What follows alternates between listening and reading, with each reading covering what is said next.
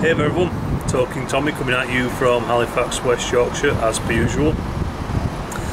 Um, been a while, been a couple of weeks or so since I last did a video, um, so thought I'd make amends.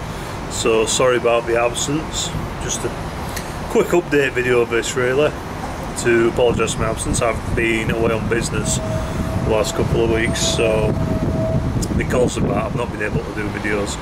I did consider taking my camera with me to make videos, however um, I didn't in the end. And it's a good job I didn't because I had nowhere private I could smoke.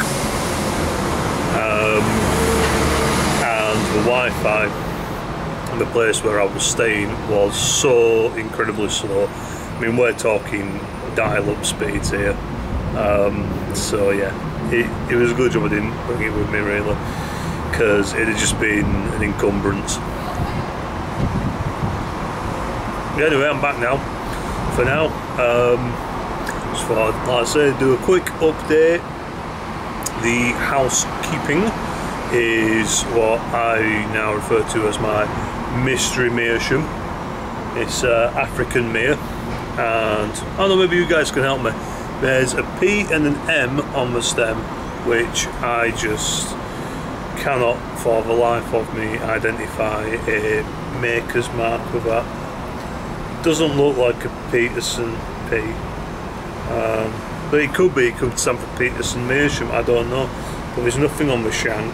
There's no maker's mark anywhere apart from the stem. And I know a couple of other lads from Facebook who've got very similar pipes. Um, different shapes but they have the exact same marker and the exact same area of the stem. No idea.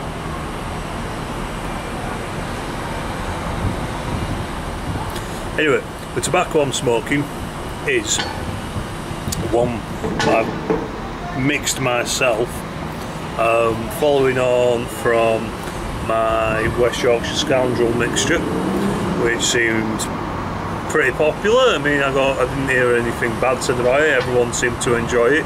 Who got sent some, so I'll be making some more of that. Um, but what I thought was, I'd uh, I'd give aromatics a bash, and that is where Sweet Rosie V was born. So, yeah, I've got to say, um, I had a lot of fun making this tobacco. I had a lot of fun making it because I think you can be a little bit more creative with aromatics and now I'm starting to understand why manufacturers like to make aromatics so much. You can be quite experimental with them. Um, and this one, for first attempt, is pretty good to be honest. Um, I'm not going to reveal what's in it, but the flavour is sort of toffee, caramel, um, so toffee caramel with uh, a sort of rosy hint. Um, by rosy I mean like a bit like Turkish delight kind of hint to it. And yeah, it tastes pretty good. Apologies if I keep leaning up like that, but the first take of this video, which is going to go on blooper reel, um, just done the introduction and the wind blew the camera and luckily I caught it but yeah it's not actually my camera so I don't want to bust it. You know where I'm sat I'm actually sat a good uh, 50 60 feet up something like that. So if it drops off the balcony it's gone forever. Um, and I can't afford to replace it right now. So yeah. So anyway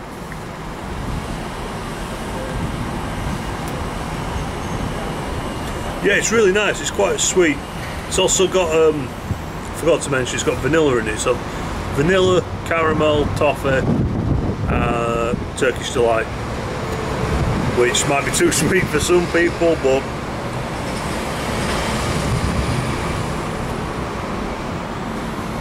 very nice beard note, I must say. Smoked this first time on Monday, and I can smell it all night in my moustache smell nice. smell nice and sweet. So yeah, so other than that, what else have to? Um, got some more blends um, I'm going to want to have a go at because West Yorkshire Scoundrel was, for all intents and purposes, an English mixture. Um, apart from it didn't have Oriental, so does it still classify as an English? I don't know. I'm not pedantic enough to care, to be quite honest with you. I'm going to call it an English mixture. Um, so yeah.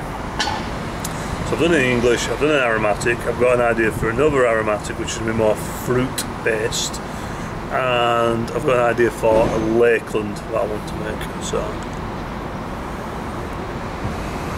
updates to follow and because as you've seen from the artwork I've just shown you my artwork isn't particularly good so um, may recruit a mate of mine to uh, design me some uh, some nice labels so I'm thinking is if they're popular enough I might um, sort of not manufacture them as such but sort of make some more of them on a bigger scale because these jars are good for 100 grams. Um, so 100 grams will start like 4 ounces.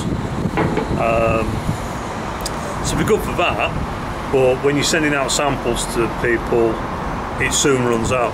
So what I'm thinking is if I get bigger jars, um, I can fit maybe 500 grams in and then just uh, up my game a little bit if it if it popular enough, I hasten to add because I'm not just gonna chuck money into some mindless enterprise that's not gonna work. But I'm thinking, um, especially seeing as you know, I'm unlicensed, so it's kind of like not legal. But fuck the police. Um, what I'm gonna do is I'm gonna um, once I've got my sort of stock recipes and I've got them down to where I want them to be and they're 100% how I want them to be. Um, I'll make some on a larger scale, providing they're popular and everything, people like them. And then what I'll do is arrange for some sort of uh, decent artwork to be drawn. Um, and then I'm looking like putting them in um, you know, some sort of heat sealed packaging and either sell or send to people and stuff. You know, I'm not just going to give them away. I'm going to have to make something back. As long as I'm making back what I've spent, I'm happy to continue doing it really. But we'll see. It's, it's a hype dream at the moment. Eh? See what I did there? No, I'm not proud of that joke. Uh, or pun, it's not a joke really. Um, so yeah, that's an idea I've been having today. Um, so watch this space, I'll update as and when. I'd like once again to thank everybody who entered my competition or giveaway, whatever you want to, however you want to say it.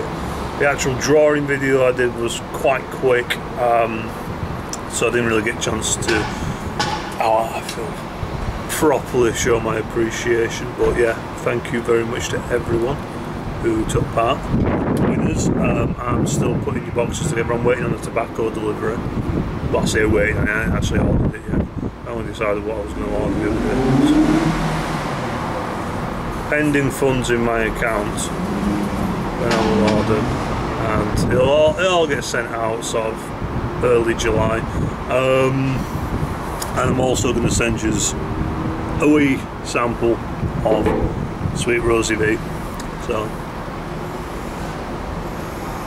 you see, I'd like to get into pipe making. I made a pipe once. Um, it was a hobby block I bought off eBay. Um, I bought it off a now uh, sadly deceased Alexander Zavos uh, over in Athens and I made a pipe and I did it all by hand because I don't have a lathe or any of that um, so that was really fun absolute crippling agony in my hands afterwards man, do I appreciate handmade vibes now. But um, I'd like to get into that more. However, I live in an apartment. I live in a two-bedroom apartment. There's two bedrooms, two bathrooms. Well, one bathroom and one ensuite, um, and a hallway and a living room, kitchen. Oh, and a boiler room. So at the moment, it's not possible. I, I don't have the space for any of the kit or the gear or any of the supplies needed. It's just I don't really have the time either, to be quite honest with you. Um, so unfortunately, I can't really do at the moment. However, hand mixing um, tobaccos, I do have time for. It's pretty quick and easy. Um, I'm not doing anything spectacular. I'm not growing and curing my own tobacco. Um, again, time, land, supplies, money. It's all things I don't have to float into it. Um, but the way I'm doing it is I'm mixing existing blends, making them into a hybrid mixture. Without the use of a press, I'm putting them into airtight jars once they've all been hand mixed. Again, I don't have a press. I looked into buying a cheese press the other day, and those are redonkulously expensive. Redonkulous, and considering I won't be using it for its intended purpose, I'm not spending that much money. You're talking in excess of a hundred pounds. It's not worth it. Um, I looked into making my own cheese press, and that seemed like a lot of effort considering I don't really need to do it. What I'm doing at the moment seems to be working pretty well. So.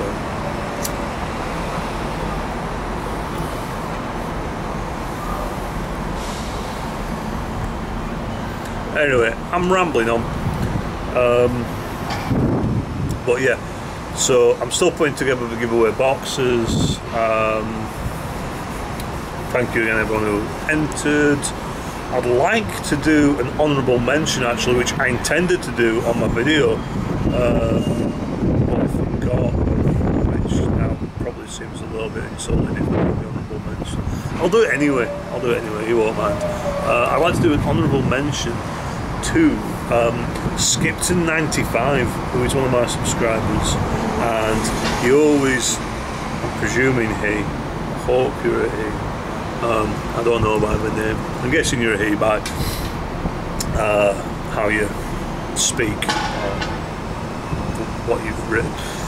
um, so I'm guessing you're a he. Um, I'm going to stick with that. He's been uh, a very a subscriber of mine since I started out, pretty much, um, nearly a year ago, um, and he's always been a constant supporter. He's always been very, very supportive, very, very friendly, um, and there's been a good exchange of banter between us um, when he's commented on my videos and everything. So I'd just like to say thank you um, because of the criteria for my videos in VR. He doesn't make videos um, as yet. Um, I say as yet because you never know, he might start doing it. Um, but yeah, so I just want to say thank you, really. Yeah, of contest, but he did say, you know, go up to everyone and all the rest of it. And, you know, he's a really nice guy, really nice guy. Um, so just want to say a special thank you to Skipton 95. Um, yeah, so that's about it really. I don't really have much else to say on this video. Um, just checking in really. I'm going to be doing some more videos this weekend. Going to do um, an OTC review. Uh, get back on that. I don't have many blends left to do, but I've just been putting it off for one reason or another and been busy and everything. So I will do one of those hopefully this weekend. Um, I will also be doing um, a video very soon.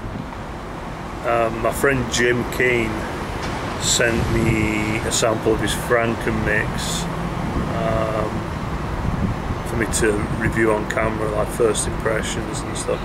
um, which I thought was a really cool idea because what he's done is he's written on the letter that came with it what's in it, but then he's stapled it over so I can't see. And he says it's to be read either during or after the review. And I thought it would be a cool idea is if I'm smoking it, I can make my guesses as the way it is. See how well trained my palate actually is. Um, and then read out how right or wrong I was, um, which sounds pretty fun. Sounds like it could be quite a laugh at. So I'm going to be doing that. Um, and can't think of any other videos I'll be doing at the moment. Um, so it's definitely about one with some more OTCs and videos like this where I just talk shite for 15 minutes. Um, so that's about it for now. So I love you and leave you. Um, that's how we do it around here. And I will speak to you all again very soon. Until then, take it easy and uh, never do alt for now unless it's for yourself. Catch you later.